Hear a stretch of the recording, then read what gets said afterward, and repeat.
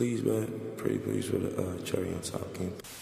Hey YouTube, and welcome back to another video. Today, I'm going to talk about how to get better at building and editing. Now, these are two very broad topics that make up a big part of Fortnite. So today, I'm going to try to focus in on just a few of the important aspects of improving your building and editing, so I can get through this as fast as possible. First, I'm going to talk about some settings and keybind rules of thumb to follow to make sure you're able to edit and build quickly. Once I go over those, I'll talk about all the essential builds and edit techniques you need to be able to pull off consistently, and then lastly, I'll discuss the best ways to practice building and editing. As usual, I will have timestamps below in the description of the video, so feel free to jump between different sections of the video as you see fit. Alright, without wasting any more time, let's get started. Okay, firstly, I'm going to talk about some rules of thumb to follow with your keybinds and settings to make sure you can build fast. Considering I'm a PC player, these tips will mostly be catered towards a keyboard and mouse setup, but even so, a lot of these tips still apply to console, so just be mindful if you are a console player watching this. And one more thing I just want to clarify before there is any confusion is that keybinds are a very preference based thing. And so you've probably noticed that almost everyone has a different set of keybinds that works for them. But these tips today are general guidelines that you should follow no matter what keybinds you end up choosing. Alright, let's get into the tips.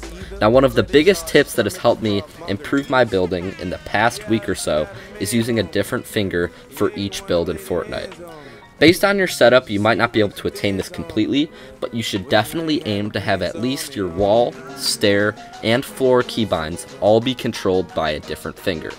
The reason this tip is so important is because a lot of the more complex builds that are becoming foundational these days require you to be able to perform all these different builds in quick succession. And if you have one finger in charge of a bunch of different hotkeys, you won't be able to build as fast as you could if you separated out your hotkeys around your setup.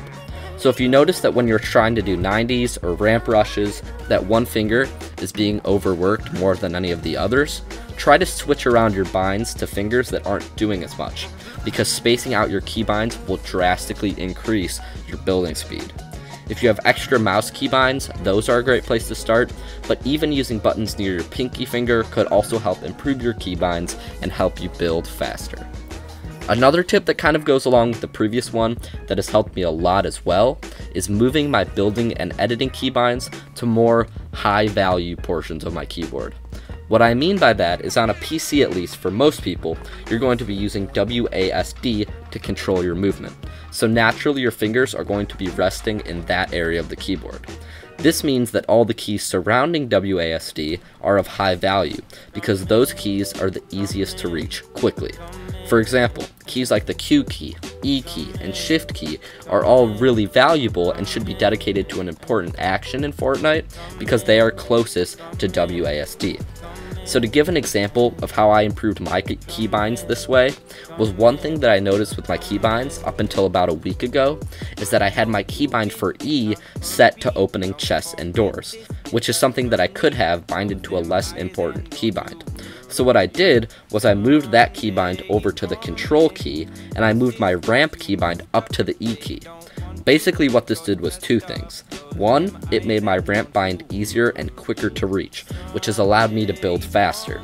But it also made it so that now my ramp, floor, and wall keybinds are all controlled by a different finger, which has sped up how fast I can do 90s and ramp rushes. So what you should do, if you notice that the keybinds you use most often are not near WASD, is slowly try to shift things over closer to that area of the keyboard. I'll tell you from personal experience that changing your keybinds isn't easy, and the first two to three days after changes are always frustrating. But I promise the future you will be thankful you changed your keybinds because you will be much better once you get those improved settings down and you can develop that muscle memory. Okay, now that I've gone over some important keybind tips, let's talk about the essential builds and edits you need to be able to do in Season 9. This may be an unpopular opinion, but at least with building, I don't think there's that much complicated stuff that you absolutely need to be able to do. I'm aware there are some super crazy new high ground retakes and strategies, but in my opinion, there are only four building techniques you really need to know. The first thing you need to be able to do is a three layer ramp rush. This is just the classic ramp, floor, wall push. The second thing you need to be able to do is a set of double 90s. Basically, as long as you can just do two decently fast 90s back to back, you'll be good in most fights. The third thing you need to be able to do is waterfall. You have probably seen this done before, and it's even easier than it looks, but basically all you do to waterfall is place walls and then catch yourself with the stair to get down from the high ground quickly. The fourth thing you have to be able to do is side jumps. These are probably the most situational of all these things, but being able to jump around a cone or flat and catch yourself comes in really handy in fights and is something that is not too complicated that you can do with a little practice. Another thing that you might want to know how to do that I'm not including in this list of four essential builds is turtling and tunneling.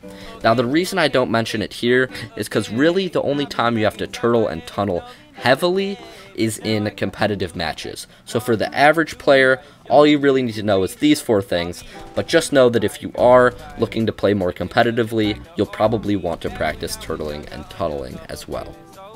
If you know all these basic tools, you are going to be set for most fights. By stringing these different strategies together, you will be able to pull off effective high ground retakes and win most build battles. Now, of course, building is more than just those four things, but really, these techniques should be the core of what you're using in fights. The only other thing you need to know is some essential edits. In my opinion, like building, there are only a few edits you have to be able to use in most fights. The first edit you should have down is a classic corner edit on a wall. These are going to be your bread and butter in most fights, and you have to be able to do these quickly because they are a really common edit. The second edit you need to be able to do is reversing ramps. This is really important because it comes up a lot in box fighting, so make sure you can quickly flip ramps around. The third important edit is editing through a flat or cone while running up a ramp.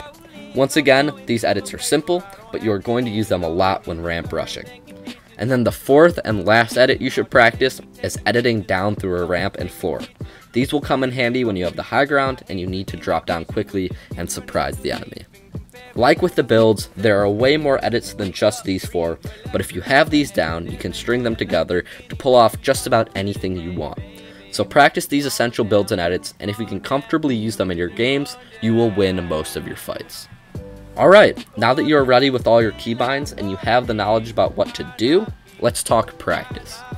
Ever since Creative was introduced to Fortnite, I have said the best way to practice is editing and building courses. If you're not doing them, you're missing out, because I credit these courses with basically all the progress I have made with my mechanical skill at least in the past few months. Since this is a more basic and foundational video, I think the best course to start with and what I'll recommend to you is CanDook's Build and Edit course. This course has three different levels that will take you through all the different essential builds and edits I mentioned earlier. What's nice about this course, and why I use it to warm up every time I play, is it progressively gets harder. So level 1 is nice and slow paced, and will get you ready for the more complicated builds and edits. But once you get to level 3, you'll be doing really complicated edits, yet it won't even feel difficult because you'll have worked your way up there by doing the previous levels. I'll also have other courses linked below, but definitely give this one a try if you haven't already. One other thing you can do to practice is just load into an empty map and practice your ramp rushes, 90s, and high ground retakes. What I like to do is run through all of CanDook's courses, then break out and practice my own free building. If you can run through a full course and free build for 20 minutes every day before you play, you will see some really big improvements in your mechanical skill in just one or two weeks time.